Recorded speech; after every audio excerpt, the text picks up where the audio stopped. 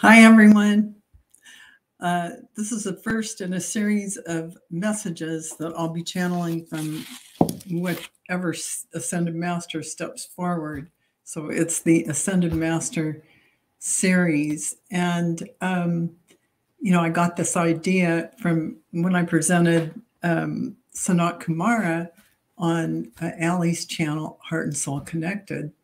So this will just be messages. When you want to learn about the Ascended Masters and understand who they are and what they brought to the earth, go to Ali's Heart and Soul Connected to listen to her series.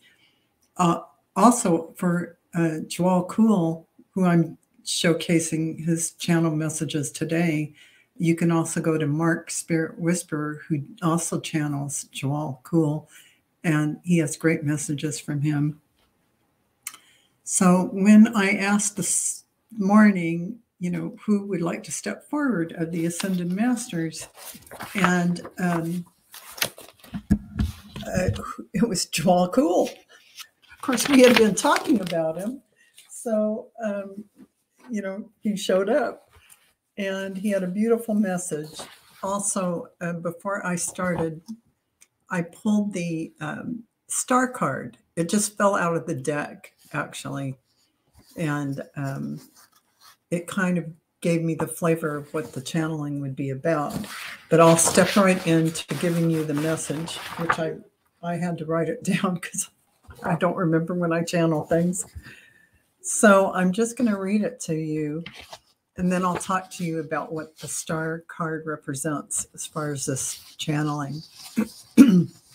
so Ascended Master Djwhal Khul um, a Tibetan master, uh, and you'll learn more about him when you hear um, on Ali's channel. I think Mark Spirit Whisperer is going to present him, so you'll learn about that. But he starts out saying, The soul seal is above your crown. It holds the sacred energies of creation. It is your divine essence. We call it a soul seal because it is protected and always connected with divine source. Opening to this, your soul seal, brings about shifts and changes in your energy field. You will be receiving higher information and codes of light, which will unfold later. So, as you open up to this soul i think it's like your higher self but he's calling it a soul seal up above your crown. As you connect with that you'll receive higher information and codes of light that will unfold later. Your heart is the key that opens all doors. An open heart is your destiny. Bring light into your heart and expand it. Hold your awareness there and you'll feel the difference. Practice this every day keep your awareness there and you'll feel the difference. Uh, your heart open, keep your heart open, and it will bring you more openings, information, initiations as you move along your path. The way shower is you. The heart of divine source is you. As you move along, you'll touch many beings with your light. This will shift humanity to a better energetic connection with divine source while on the earth plane. Open hearts. It is so, and so it is. So it shall be. Joy and inspiration are yours, for this light that you embody carries these resonant frequencies as it as it moves through you. Transformation is happening Embrace it and shift with a loving heart, embracing all your gifts to help humanity. For you are star seeds and light workers, as you've so named it here on earth. The connectedness with all that is allows you to channel and bring forth much wisdom to those in front of you who call for assistance. Allow yourself to bring forth those messages. It may feel like a thought voice in your head or an inner prompting. This is a message for that person in front of you. You will use discernment as to how and when to softly share the messages through your open heart. The heart has intelligence and will know the right time and words to be spoken and shared. You have at your disposal all gifts to utilize as you've come in with them. Step softly forward and begin your leadership role, your divine your divine plan mission. And as leadership role, he's saying, this is my take on his meaning, a leadership role in the sense that you take charge of your life as an awakened being, as a self actualized being. That's someone who just gets the message and moves forward knowing what they know um, without conscious thought oh well this you know how will people think about me? or what you know any ego stuff is gone. You just move forward with whatever spirit is guiding you toward. Hi sherry. Nice to see you here. I didn't think anybody get on because this is just going to be a quick message because actually at three o'clock i have light workers uh, with um, Marina and messages for light workers.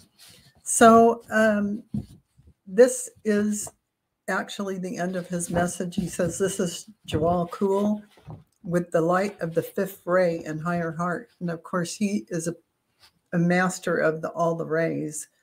Um, in the beginning, he came in on the second ray, which is love and wisdom. But he is um, the keeper of all those. So, and then he just says, I bid you good day. And as I looked on at the star uh, in the tarot, the star tarot, uh, the guiding light, universal light, is that star. That is the energy of that. You are looking for a deeper meaning in life. You are searching for your truth. You are looking for peace of mind. It brings spiritual evolution by finding your true self in the treasure within your heart. The star brings you guidance, wholeness, inspiration, and follows on your path toward understanding and focus. I'm sorry, focus on your path, understanding your destiny in the, in the universal plan. It reminds you that the universe provides you with a continuous light that shines on your individual path as you travel through life's experiences. And that's just a framework or context because that star card just fell right out. And what I do is I channel the message, even though I pull the card, I don't really del- dive into it. I just channel the message and then I go back and it, it helps give that framework and it helps us understand the depth of what that message really is. And Djwhal Khul has given us a huge leap forward in him giving us an exercise to do to keep our hearts open and um, a little nudge to get on with our divine path. And uh, I hope you enjoyed this message from Djwhal Khul. And I will continue to share whatever messages I get as I sit down. Whoever comes through, I just open it up to whatever ascended masters want to come through. And maybe at some point I'll channel something about the great white brotherhood, white being the, the light um, that they all belong to. It's kind of a fraternity of, of ascended masters, which I've always been connected with and channeled from. So I'm just going to be sharing some of these messages, and I hope you um, have gotten something from it. And um, that's it for now, Sherry. Thank you for coming. I appreciate it. My sister of the Mystical Tarot, Sherry. See you on Wednesday, and that'll be on Allie's channel. Um, Wednesday, Sisters of the Mystical Tarot at 4 p.m. Pacific time. So don't don't miss that because we're going to talk about uh, tarot cards, picking the ones that we really enjoy, and we're going to talk about what they mean to us. And catch you later, Sherry. anyway, um, so that'll be fun. And in a few minutes, um, I've got to get ready for um, light workers, messages for light workers with Marina. So um, tune in for that. It's it's live as well. See you all later. Bye bye.